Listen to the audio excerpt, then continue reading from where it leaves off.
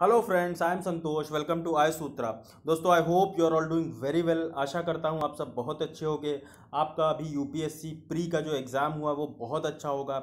मेरा भी काफ़ी अच्छा एग्ज़ाम हुआ है। तो दोस्तों, आशा करता हूँ आगे भी आप प्री के बाद मेंस की प्रिपरेशन में लग जाएँ। दो चार दिन का रेस्ट था, थोड़ा सा एक काफ़ी समय से पढ़ते चले आ रहे हैं। आप भी, मैं भी तो थोड़ा सा एक रेस्ट चाहिए होता है। रेस्ट के बाद लेकिन आप मेंस की तैयारियों में अगर आपका एग्ज़ाम अच्छा हुआ है तो ज़रूर लग जाइए। तो दोस्तों, आज का अगर मैं आपको मोटिवेशनल कोट बताऊँ, इसमें बहुत ही शानदार बात बोली गई है। इसमें बोला गया है, इतना बड़ा बनिए कि जब आप उठें तो कोई बैठा ना रहे।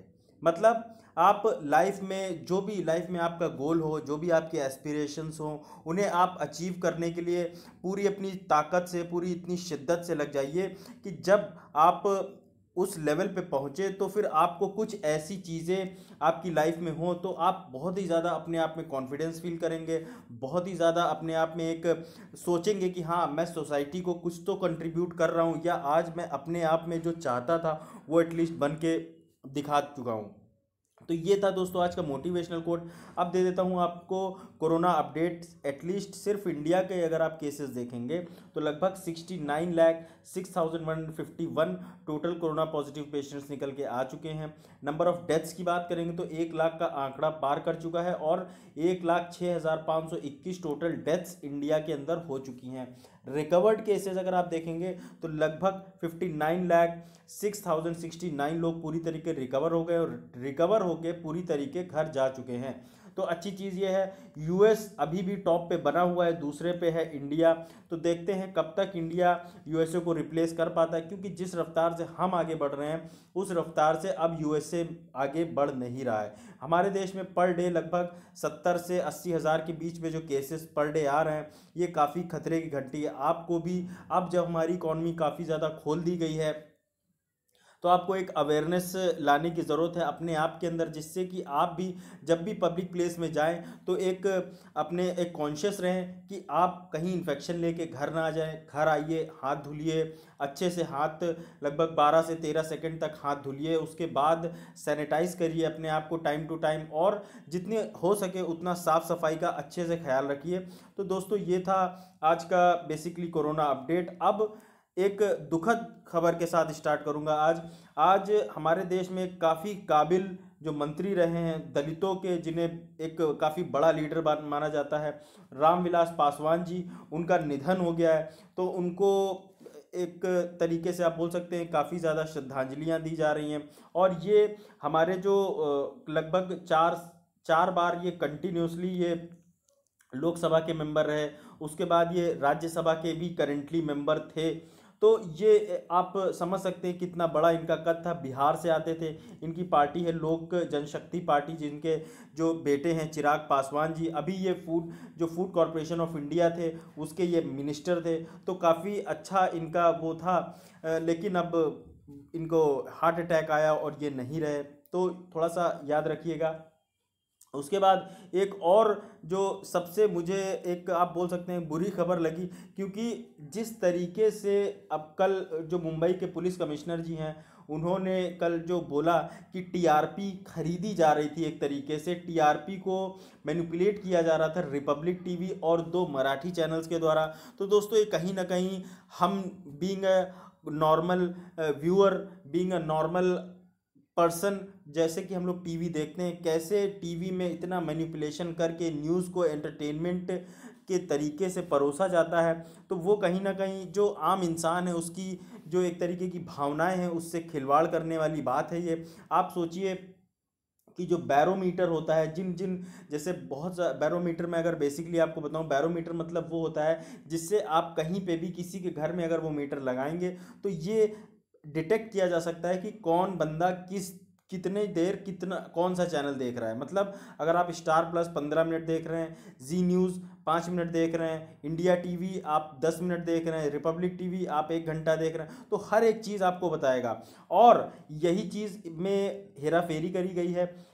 ऐसा परमवीर सिंह जो कमिश्नर है मुंबई के, उन्होंने बोला है कि रिपब्लिक टीवी ने पैसा दे के पहले तो ये डिटेक्ट किया कि कहाँ कहाँ बैरोमीटर लगे हैं। उसके बाद बैरोमीटर लगने के बाद वहाँ पे लोगों को पैसा दे के उन्होंने बोला कि आप रिपब्लिक टीवी चला के छोड़ दीजिए। देखिए, चाहे ना देखिए, हर महीने आपके खाते में पैसा आ जाएगा। तो इस तरीके से आप समझ सकते हैं टीआरपी को मैनिपुलेट किया जा रहा है और जब ज़्यादा इनके पास टीआरपी आई तो इनके पास बहुत ज़्यादा एड्स भी आने लगे। तो एड्स होने की वजह से इनका जो एक तरीके से जो रेवेन्यू जनरेट हो रहा था, जो पैसा आ रहा था, इनकी जो इनकम थी, वो काफ़ी ज़्यादा बढ़ गई। जिस वजह से ये एक तरीके से इन्होंने जो अवैध जो कमिश्नर साहब ने बोला है कि जो अवैध कमाई है, ये इसको भी सीज़ किया जाएगा।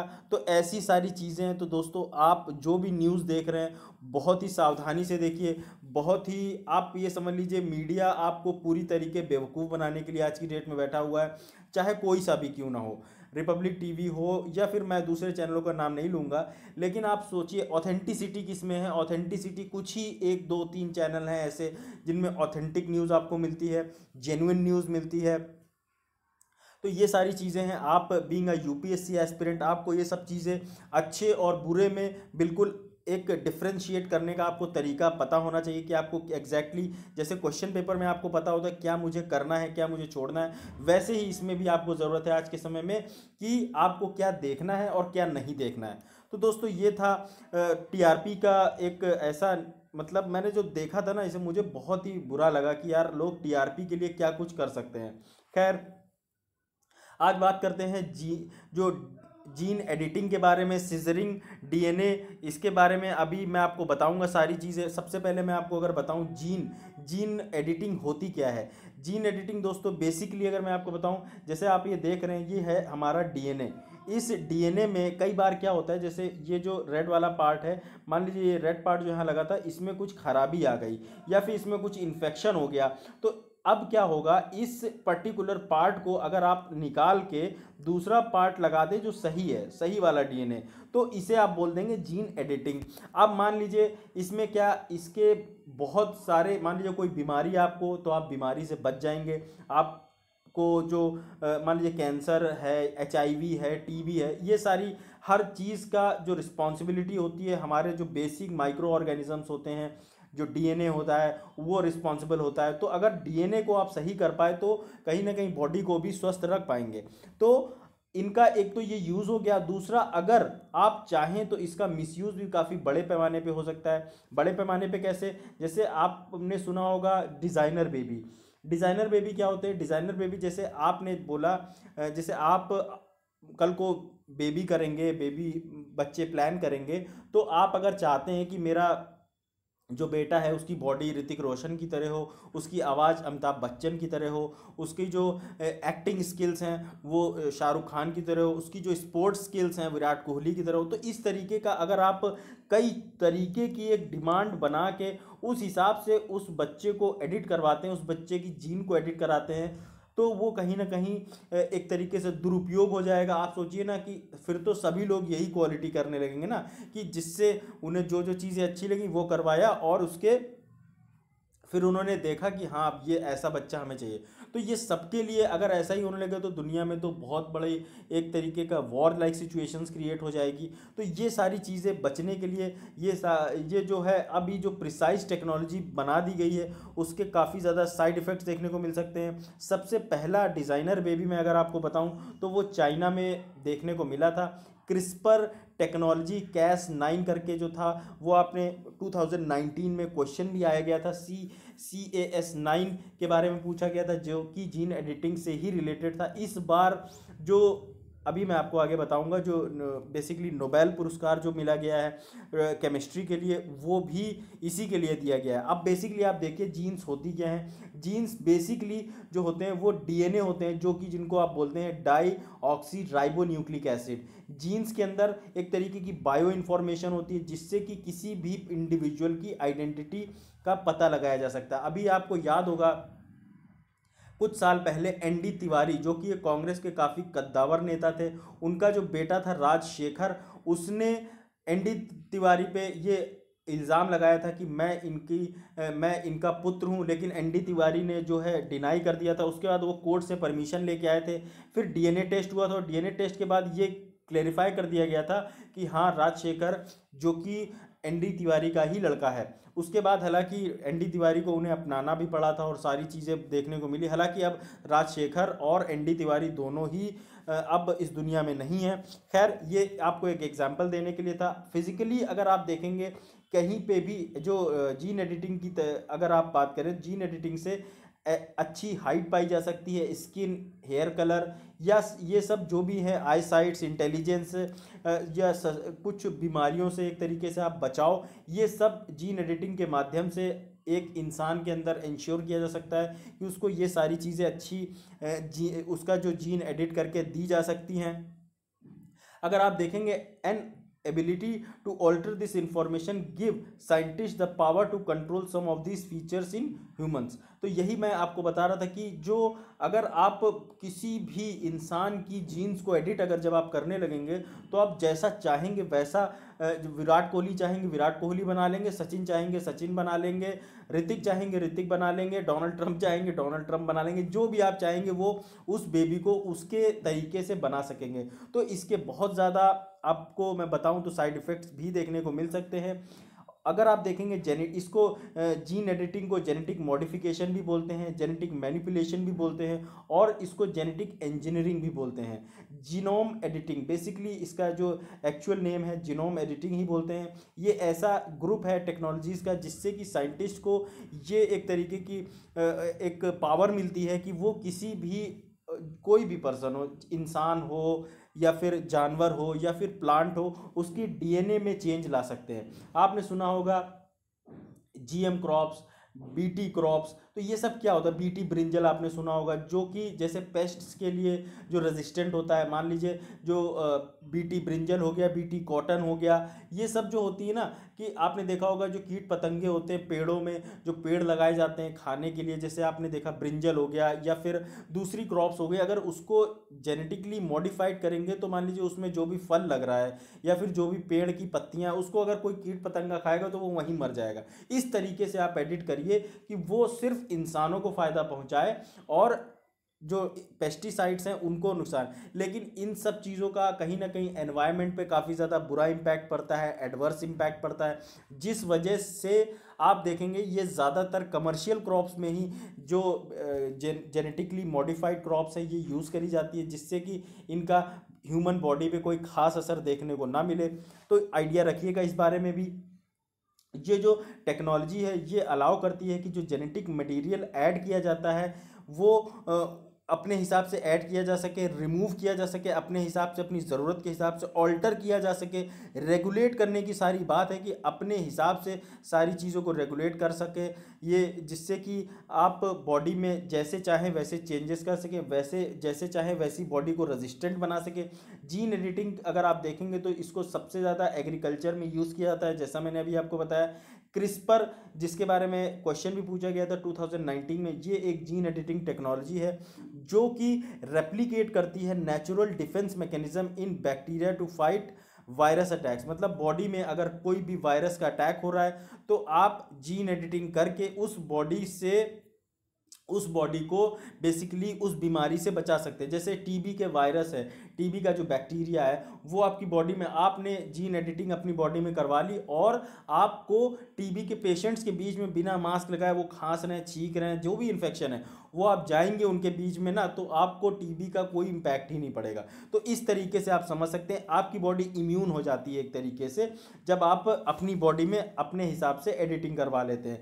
क्रिस्पर कैस नाइन जो टेक्नोलॉजी है, इसमें basically cut and paste mechanism है, जो कि डीएनए में किया जा सकता है जिसमें जेनेटिक इन्फॉर्मेशन होती है। अगर आप देखेंगे prevention the preventing the complex diseases जैसे कि कैंसर हो गया हार्ट डिज़ीज़ हो गया, उसके बाद आप देखेंगे मेंटल इलनेस हो गया ह्यूमन इम्यूनो डिफिशियंसी वायरस, जिसे आप एचआईवी बोलते हैं, ये सब वायरस, ये सब बड़ी बड़ी बीमारियों से बचा जा सकता है। उसके बाद मैं अगर आपको बताऊँ, इस बार नोबेल प्राइज़ जो कि केमिस्ट्री के लिए इसीलिए दिया गया है, क्योंकि इमैनुअल जो कारपेंटिनर जो हैं, ये फ्रांस की हैं और जेनिफर डुंडो जो हैं, डोंडना ये यूएस की हैं। इन्हें इसलिए जीन एडिटिंग टेक्निक के लिए ही जो है ये इस बार नोबेल प्राइज़ दिया गया जीन एडिटिंग टेक्निक जिसे आप CRISPR Cas nine D N DNA snipping scissors भी बोलते हैं, बहुत इंपॉर्टेंट है। क्योंकि अगर आप देखेंगे आने वाले टाइम में जो भी अगर आप वनडे एग्ज़ाम देंगे या फिर आने वाले फ्यूचर में आप किसी और एग्ज़ाम में प्रिपेयर बैठेंगे तो वहाँ पे आपको ऐसे क्वेश्चन डायरेक्ट नोबेल से रिलेटेड मिल जाएँगे कि नोबेल किसे दिया गया या किस लिए दिया गया। बहुत इंपॉर्टेंट है याद रखिएगा। सबसे पहले जो नोबेल प्राइज़ दिया गया है कि मतलब जो एक टीम है जिसमें सिर्फ़ वुमेन लेड टीम है। मतलब उसमें कोई भी पुरुष नहीं है। तो वुमेन एम्पावरमेंट से रिलेट आप इसे कर सकते हैं। कभी कोई क्वेश्चन का आंसर दे रहा हूँ तो वहाँ पे ये सब लिख सकते हैं कि आपको पहली बार वुमेन एम्पावरमेंट का एक ऐसा क्लासिक एग्ज़ाम्पल है कि नोबेल प्राइज़ एक वुमेन लेड टीम को दिया गया जिसमें किसी भी पुरुष की भागीदारी नहीं है। तो आप समझ सकते हैं काफ़ी ज़्यादा इंपॉर्टेंट है इनकी पर, इस पर्सनैलिटी का याद रखिएगा।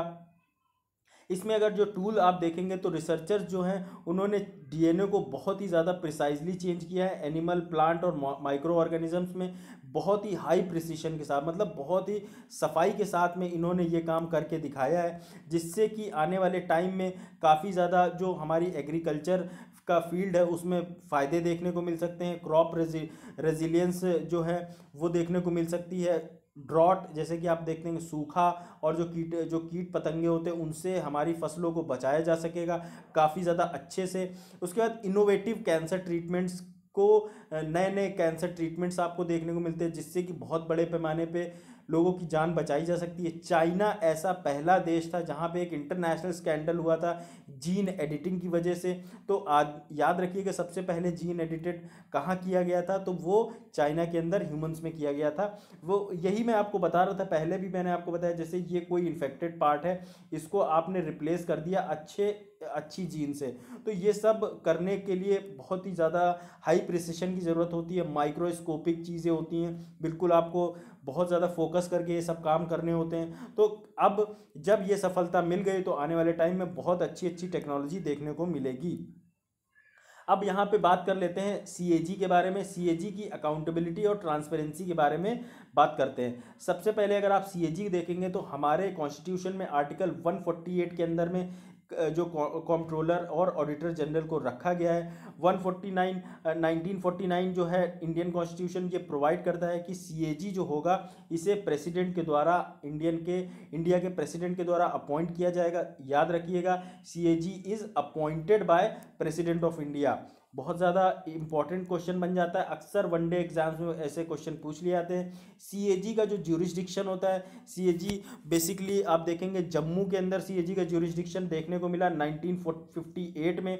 तो जो ऑल ओवर इंडिया में 1949 में ही आ गया था, लेकिन जम्मू कश्मीर के बारे में अगर आप देखेंगे, क्योंकि जम्मू कश्मीर एक स्पेशल स्टेटस था तो इस वजह से वहाँ पे समय लग गया, लगभग आठ नौ साल का टाइम जब वहाँ पे ये आया 1971 में जो सेंट्रल गवर्नमेंट है, उसने CAG जो थी, इसकी ड्यूटीज़, पावर और कंडीशंस जो है, एक्ट 1971 के तहत निर्धारित करी गई थी। जो एक्ट था, इसने CAG को ये रिस्पॉन्सिबल बनाया कि वो बोथ अकाउंटिंग और अकाउंट, ऑडिटिंग ड्यूटीज़ जो है, वो सेंट्रल और स्टेट गवर्नमेंट्स के जो भी ऑडिट्स होते हैं, वो CAG ही करेगा।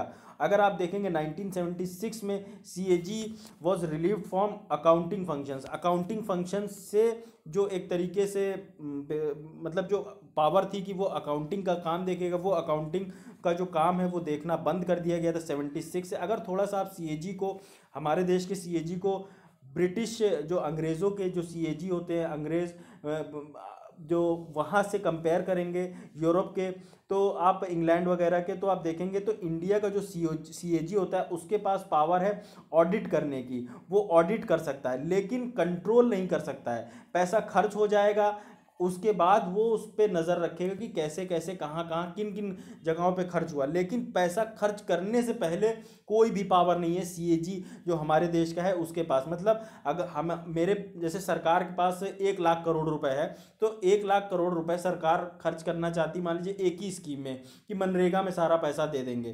तो CAG के पास कोई पावर नहीं है कि वो सरकार को रोक सके कि नहीं, आप इसमें ही मत खर्च करिए, और भी दूसरे इशूज़ हैं, उनमें खर्च करिए।